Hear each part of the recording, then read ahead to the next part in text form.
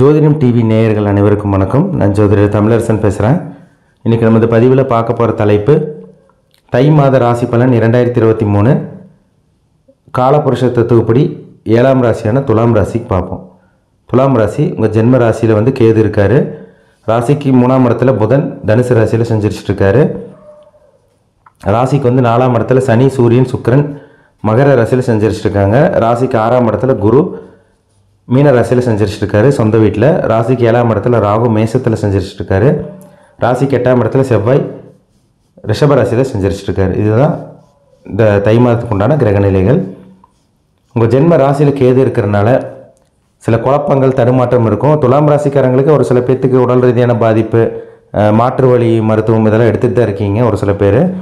உடல் ரீதியான பாதிப்பு அதே மாதிரி ஆன்மீக எண்ணமும் அதிகரிச்சுது. ஏன்னா ஜென்ம ராசியில் கேது இருக்கவங்களுக்கு சா சாமி நம்பிக்கை இல்லாதவங்களுக்கு கூட அந்த ராகேரி பயிற்சி மூலமாக சில ஆன்மீக சிந்தனை ஆன்மீக நாட்டம் இறை வழிபாட்டு மேலே அதிகமான ஆர்வம் இருக்கிறது. இதெல்லாம் உங்களுக்கு இருந்தது. அதே மாதிரி தான் இந்த மாதமும் ஜென்ம ராசியில் கேது இருக்கிறனால சில ஆன்மீக வழிபாடு ஈடுபடுறது. அதே மாதிரி அலோபதி இங்கிலீஷ் மருந்து உங்களுக்கு கேட்காம இருந்தால் ஒரு சில பேர் சித்தா யுனானி ஆயுர்வேதம் இந்த மாதிரி மருத்துவத்து கூட போயிருக்காங்க. அதுவும் ஒரு சில பேர்த்துக்கு வெற்றி தான் கொடுத்துருக்கு. நல்லா இருக்குங்க இந்த மாதம். பெருசாக பயந்துக்கு தேவையில்லை. சரிங்களா? ஏன்னா அவங்க சனி பயிற்சி உங்கள் ராசிக்கு வந்து சனி வந்து அர்த்தாஷ்டம் சனி இருந்து அவன் அஞ்சாம் இடத்துக்கு போகிறதும் மற்றபடி கிரகங்கள் எல்லாம் ஓரளவுக்கு நல்லா தான் இருக்குது பெரிய நெகட்டிவ்னு சொல்கிற அளவுக்கு கிடையாது உங்களுக்கு. உங்கள் ராசிக்கு வந்து மூணாம் இடத்துல புதன் இருக்கிறனால உங்களோட முயற்சி தன்னம்பிக்கை தைரியம் இதெல்லாமே கொஞ்சம் அதிகரிக்கும். ராசிக்கு யோகாதிபதி வந்து பாக்கியாதிபதி வந்து மூணாம் இடத்துல இருக்கிறது நன்மையான விஷயங்கள் தான்.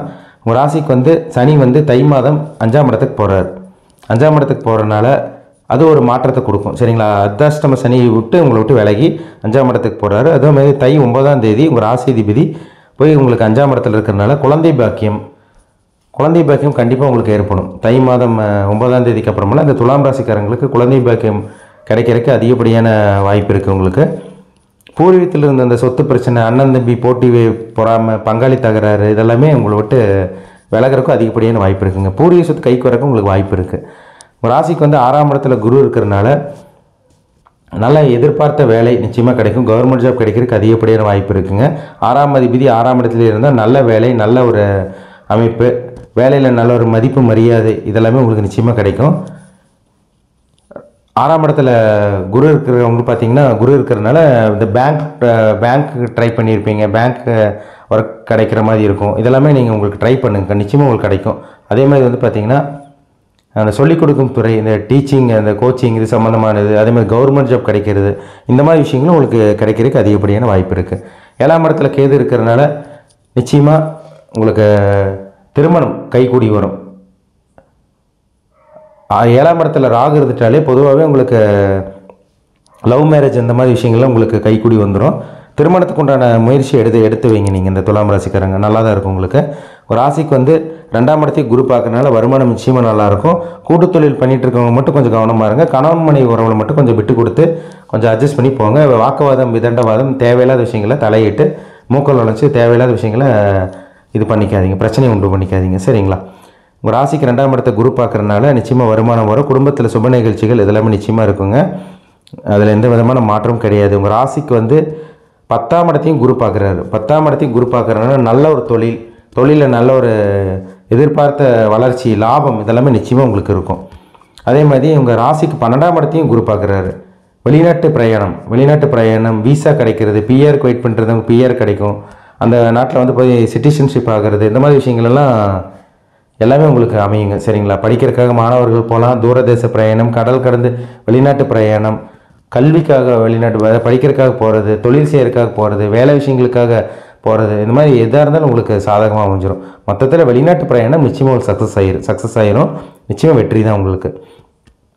இந்த துலாம் ராசிக்காரங்களுக்கு மொத்தத்தில் நல்ல ஒரு வருமானம் இதெல்லாம் உங்களுக்கு நிச்சயமாக ஏற்படும். அதே மாதிரி உங்கள் ராசிக்கு மூணாம் இடத்துல இருந்த புதன் நாலாம் இடத்துக்கு போகிறனால உங்கள் பாக்கியாதிபதி நாலாம் இடத்துக்கு போகிறனால புதுசாக வீடு வாங்குறது வண்டி வாகனம் அமைகிறது இதெல்லாமே உங்களுக்கு நிச்சயமாக சாதகமாக தான் இருக்கும்.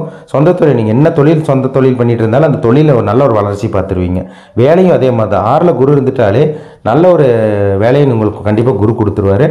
உடம்புல ஏதாவது வியாதி இருந்தால் கூட அது கொஞ்சம் கொஞ்சமாக குணமாக ஆரம்பிக்கும். கடன் சுமைகள் இருந்தால் கூட அது உங்களுக்கு இதாகிடும் புதிய கடன் வாங்குறதுக்கு அதிகப்படியான வாய்ப்பு இருக்குங்க. ஆறாம் அதிபதி ஆறில் இருந்துட்டாலே ஏதோ ஒரு ரூபத்தில் கடன் நல்ல ஒரு கடன் சு கடன் வாங்கக்கூடிய அமைப்பு இதெல்லாம் ஏற்படும். இருந்த கடன் சுமைகள் கம்மியாகி புதுசாக கடன் வாங்கக்கூடிய சூழ்நிலை இந்த ஆறாம் இடத்துல இருக்க. குரு கண்டிப்பாக கொடுத்துருவார். சரிங்களா?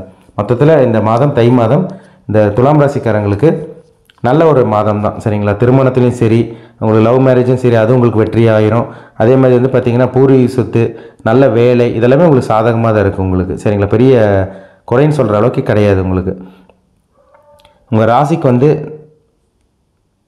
துலாம் ராசிக்காரங்களுக்கு முப்பது ஒன்று ரெண்டாயிரத்தி இருபத்தி மூணு அதிகாலை ரெண்டு நாற்பத்தி ஆறிலிருந்து ஒன்று ரெண்டு ரெண்டாயிரத்தி இருபத்தி மூணு மதியம் ஒன்று ஐம்பத்தொம்போது வரைக்கும் சந்திராஷ்டம நாட்கள். புதிய விஷயங்கள் தொழில் ஆரம்பிக்கிறது இந்த மாதிரி விஷயங்களெல்லாம் முடிஞ்ச அளவுக்கு அவாய்ட் பண்ணிக்கோங்க. எந்த ஒரு நல்ல விஷயத்தையும் அந்த ரெண்டே கால் நாள் தவிர்த்துருங்க. மற்ற நாளால் உங்களுக்கு நிச்சயமாக சாதகமாக இருக்குது நல்ல விதமாக நல்லபடியாக பயன்படுத்திக்கிங்க அந்த துலாம் ராசிக்காரங்க. இப்போ நம்ம பார்த்தது எல்லாமே கோச்சார பலன் பொது பலன். உங்கள் தனிப்பட்ட ஜாதகம் ஒன்று இருக்குது பார்த்தீங்களா சுய ஜாதகம் அதான் எண்பதுலேருந்து எண்பத்தஞ்சு சதவீதம் பேசும்.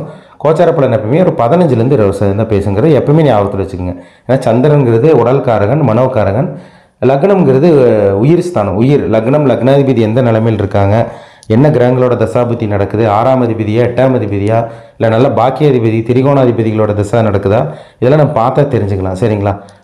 தனிப்பட்ட ஜாதகம் பார்க்க விருப்பப்பட்டீங்கன்னா என்னோடய வாட்ஸ்அப் நம்பருக்கு கான்டாக்ட் பண்ணுங்கள் அப்பாயின்மெண்ட் வாங்கிக்கோங்க. உங்கள் சுய ஜாதகம் பார்த்து நம்ம என்ன ஏதுன்னு நம்ம தெளிவாக பார்த்து முடிவு எடுத்துக்கலாம். இனிமேல் நீங்கள் எப்படி நடந்துக்கணும் எப்படி நடந்துக்கக்கூடாது உங்களுக்கு என்னென்ன விஷயங்கள்லாம் நடக்க ஆரம்பிக்கும் இதெல்லாமே நம்ம தெளிவாக பார்த்து தெரிஞ்சுக்கலாம்.